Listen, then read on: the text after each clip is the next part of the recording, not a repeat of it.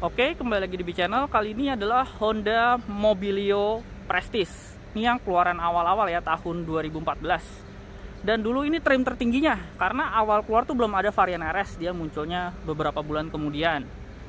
Headlamp sama kayak tipe-tipe di bawahnya ya, dia kristal multi reflektor, grill chrome. Yang membedakan tipe Prestige di sekeliling fog lamp ada garnish chrome-nya.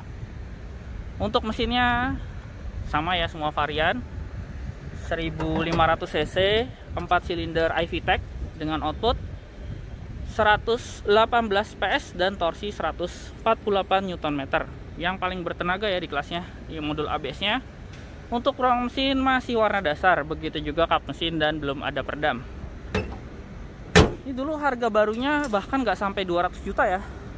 199 juta nih awal launching. Sekarang pasaran kisaran 110 sampai 120an untuk pajaknya dia PKB-nya 2,6. Peleknya yang Prestige juga beda.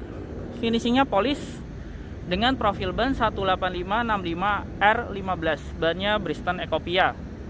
Yang Prestige juga di samping ada list chrome-nya ya di tepian bawah pintu. Spion sewarna body dengan sandy spion, handle model tarik sewarna body. Untuk interior masih sama kayak tipe E ya yang warna beige karena yang full black tuh justru varian RS dan tipe S. Bahan juga di sini full hard plastik. Belum electric retract ya. Electric mirrornya di sini ada window lock power door lock power window auto sisi driver door handle juga beige di bawah ada speaker cup holder dan door pocket. Ini ya Prestige cuma ada matic only dia ada footrest. Untuk buka kap mesin dari sini kisi AC yang bisa diputar 360 derajat dengan ring chrome, framing di luar sininya silver, bahan dashboard standar hard plastik. Kuncinya kayak gini. Udah nyatu sama remote ya. Sekarang kita coba startup kondisi pintu terbuka. Cuma sampai tipe Prestige belum ada audio string switch ya, itu baru ada di RS. Untuk pengaturan setir dia tilt. Dan MID nya di sini dia ada odo trip rata-rata konsumsi BBM balik lagi ke odo simple banget. Cuma yang bikin keren speedonya ini warna-warna birunya ya gradasi ala-ala Indiglo. Wiper di sini sudah intermittent ada wiper belakang di kanan saklar headlamp. Hazard penempatan di sini Nih ya, kelebihan Prestige juga dia udah dapat head unit monitor tipenya DDX 3035. Inputnya CD. Cuma lainnya standar ya, dia belum ada Bluetooth. Adanya di sini USB aja. Di bawah AC lumayan ini ada pengatur arah semburan ke kaki.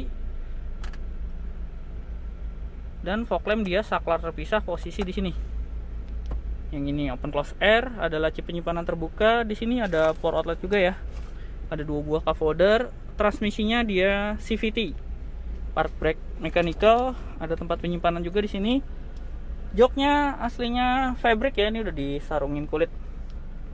Headrestnya di sini masih yang fix seat belt di sini fix hand grip di sini fix sun visor sisi penumpang depan. Dia lengkap dengan vanity mirror ada lampu baca di tengah sini. Spion tengah day night view sun visor sisi driver dia lengkap dengan vanity mirror juga sampai tipe Prestige belum ada Twitter ya. Twitter baru ada di RS safety-nya dual SRS airbag laci standar belum soft opening. Ini layout dari door trimnya. Untuk pengaturan kursi driver juga standar belum ada head adjuster. Untuk buka tangki dia dari sini. Ini yang khas dari Mobilio ya. Potongan di window lainnya. Untuk door trim belakang sama ya full hard plastik warna beige kombinasi sama warna gelap di sini. Door handle juga warna beige. Di bawah ada cup holder dan door pocket. Speakernya dia ada di belakang ya bukan di door trim baris kedua. Di belakang kursi driver dia ada seat back pocket dari sarung joknya. Begitu juga di belakang kursi penumpang depan. Masih ada tunlingnya ya ini penggerak depan. Serta ini layout dari dashboardnya. Jadi dari interior yang membedakan Prestige itu dari head unit monitor ya. Double blower di sini dengan tiga buah kisi AC dan pengaturan speed fan sampai 3 hand grip di sini model fix seat belt di sini yang masih kelihatan tonjolannya. Headrest kiri kanan adjustable pelipatan 60 40 ini juga kursinya sliding. Ini udah paling mundur. Dia paling maju bisa maju banget untuk akses ke belakang touch tumble ya dari sini. Ini masih ngunci nih.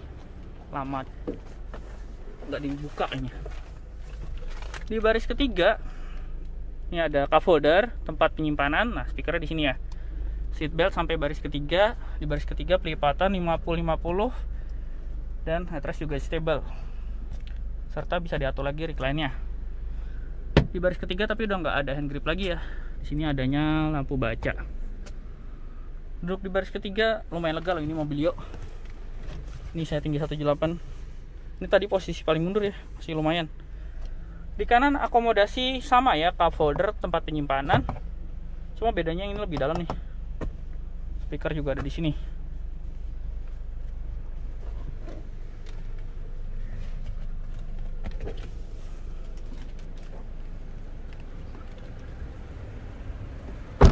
rem belakang tromol kalau dari belakang bedanya yang prestis dia garnish di atas plat nomornya chrome. Tapi zaman ini belum ada emblem prestis terpisah ya. Di bawah ada reflektor, ada muffler cutter, di atas ada rear wiper, antena short pull. Jadi di sini emblemnya cuma ACVT aja, nggak ada emblem prestis sendiri. Yang di kiri emblem Honda Mobilio-nya. Untuk buka bagasi dari sini handle. Ini bagasinya ketika baris ketiga aja tegak, masih lega banget. Di balik sini ada untuk tempat penyimpanan toolkit.